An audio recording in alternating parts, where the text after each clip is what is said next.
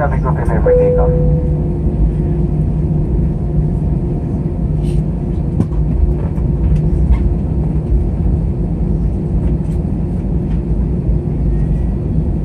Cabin crew takeoff stations.